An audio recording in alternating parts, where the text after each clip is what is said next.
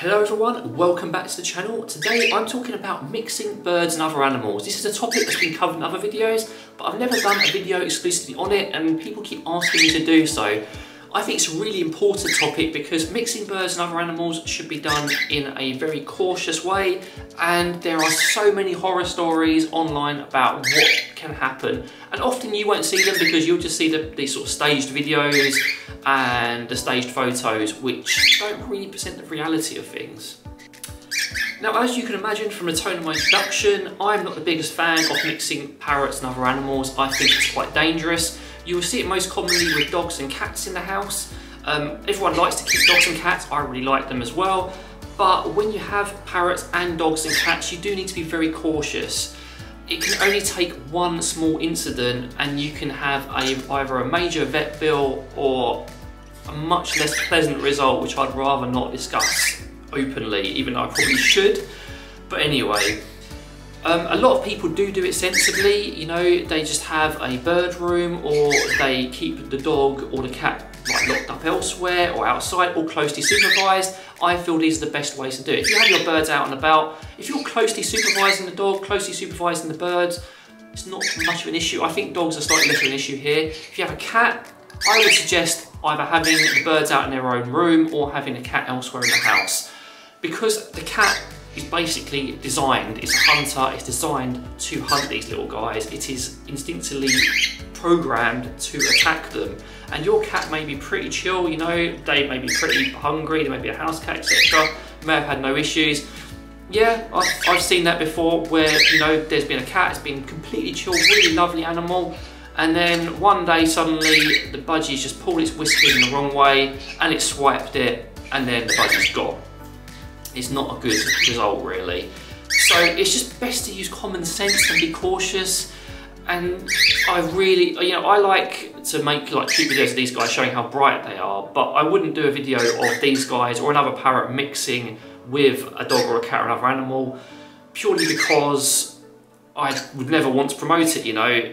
It may look cute, it may be nice to see a very tolerant dog or cat, but all it takes is one incident now the other issue as well is actually damaging the dog or the cat. So you have a dog or a cat, you have a larger parrot such as a macaw, uh, maybe a cockatoo, and they may get on very well. Something may scare that macaw, an environmental factor outside the window, just like these guys just got scared by something, a crow flying by, and then that macaw will lash out and that beak will do an awful lot of damage to your dog or a cat, you know, especially if you have just a really soft dog that just wants to play, all it takes is the wrong incident and you've got a really bad vet bill or worse again. It does, it was, works both ways, you know, obviously dogs and cats are the biggest threats to these little guys, but larger parrots can be a threat to other animals and it's really, really important to be ultra cautious when you're mixing them.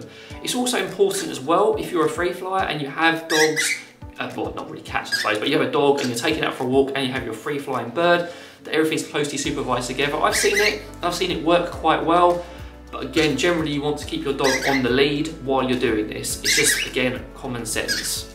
When you're talking about mixing parrots and other animals, for example, rodents or maybe reptiles, I think with reptiles it's a bit less of a risk. Um, but I still wouldn't have them out at the same time. It's just, it may be a lot less of a risk due to the way they behave and the general patterns, but it's still a risk. And some of the bacteria from certain reptiles' mouths are, threatening enough to us, but they're even worse to our parrots. You know, you don't want any accidents happening. With rodents, again, you're not really going to have the, the issue of a rodent like eating a parrot or trying to, but you do still have that potential risk if the parrot annoys it or pulls a, a whisker it will lash out or will, um, or even a rabbit, for example, will turn around, hop and kick again, it's a big issue. So it's just, I think I've said it multiple times, but just use your common sense, you know, it's not too difficult to work out that certain things are going to be a problem.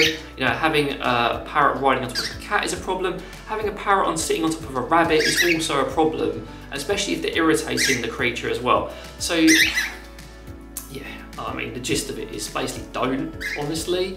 But if you have to, closely supervise and don't try and stage photos I wouldn't even encourage interactions, honestly. If interactions happen by accident and they're passive, yeah, great.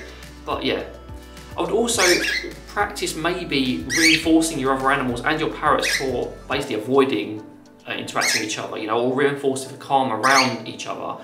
Because that's an active way you can sort of encourage them to be in the same space, but also not cause each other aggro. And that can be something, something as simple as offering positive reinforcement or attention for relaxing. And Finally, in this kind of ranty video, be aware of how your animals interact when they're in the cage. For example, your parrot's in a cage, you have, again, a dog, more likely a cat, hassling your, bir your birds in their cage. That can be very stressful, especially if you just introduce the parrot into the environment. You want everyone to be relaxed, you want everyone to have their safe space, and you preferably want to train your dog or a cat to avoid going on top of that cage through positive reinforcement, not through just uh, shooing them or being aggressive with it. So just avoid it and respect each other's spaces because these guys can get easily stressed. And it's the same with your parrots going into the dog's bed and, you know, pushing them out. That's no good either. So use some training to your advantage so everyone in the house can live peacefully and happily together and everyone has their own spaces and is enjoying it.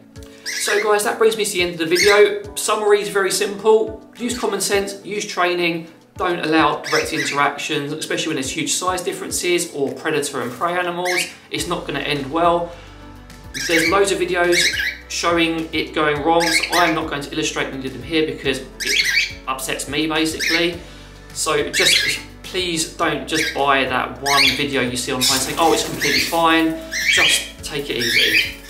So that brings me to the end of the video. Hope you found my rant entertaining or useful if you're a bit worried, you know, and it reaffirms your practices. If you have any comments, happy to hear from you. But in the meantime, from two very active cockatiels and myself, take care and see you later.